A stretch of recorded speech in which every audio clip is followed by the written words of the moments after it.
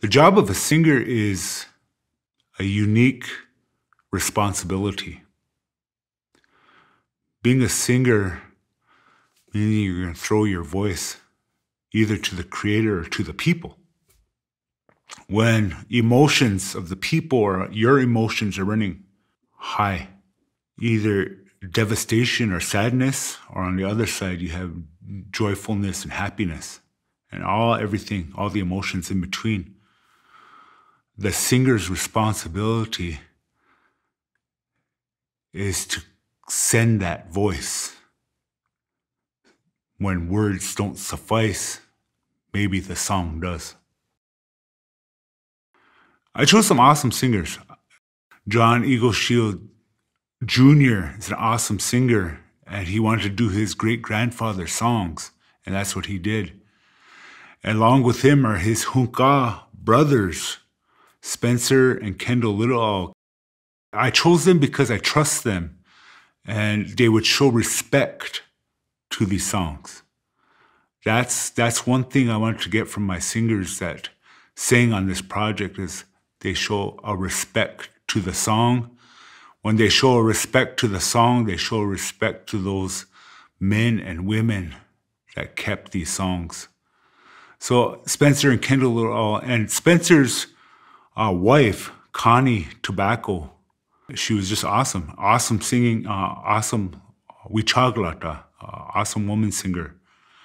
And then I uh, chose um, my nephew, who I have a lot of respect for because his mind's like a sponge right now. He wants to take in everything, everything that we teach him, not only from me, but from grandfathers and uncles and his brothers around the drum. He's taking in everything and wants to wants to learn and wants to sing. When my, my nephew Cody Wasinzi is on the uh, recording, as well as uh, Jerren Elk.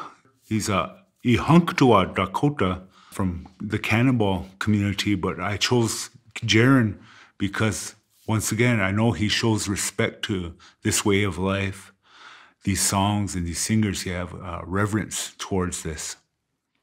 And then uh, my final singer was uh, Miss Kelcie Two Shields, who is a descendant of Two Shields, who's in the book. She has an awesome voice, and she, she once again, she's not afraid to try these.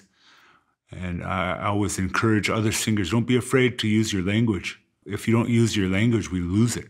So, those are the singers, including myself, that we chose to sing on this um, project.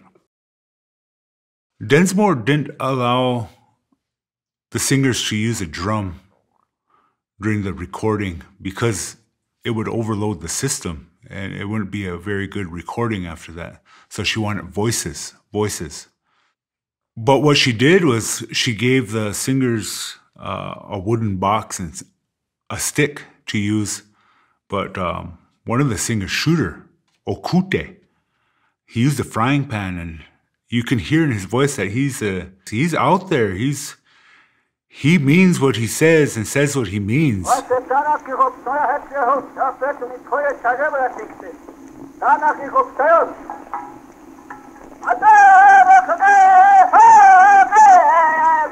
Yeah, he was he was an awesome singer.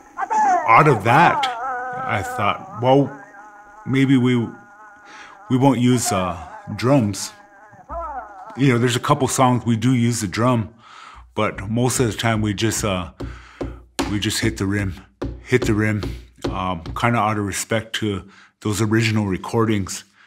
There are about 240 songs or so in the book that were recorded. Some of the recordings are lost, but we touched on about 75 of them. Something came over these singers where they're saying we need to do them all. We need to do every single one of them. After all the the devastation that happened amongst the Lakota, not, not only Lakota, but all indigenous races on this place. Some people call Turtle Island. We know it as Makoche Washte, the, the good land all the devastation the genocide, the killing of cultures, the killing of our food supply, our way of life. After all that, you go back and look, Frances Densmore recording of these men was probably one time where white man's technology served us in a good way.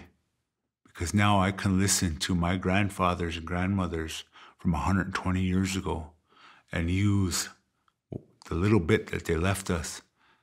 And maybe it's just a foundation. Maybe it's just a foundation that we build upon to go forward.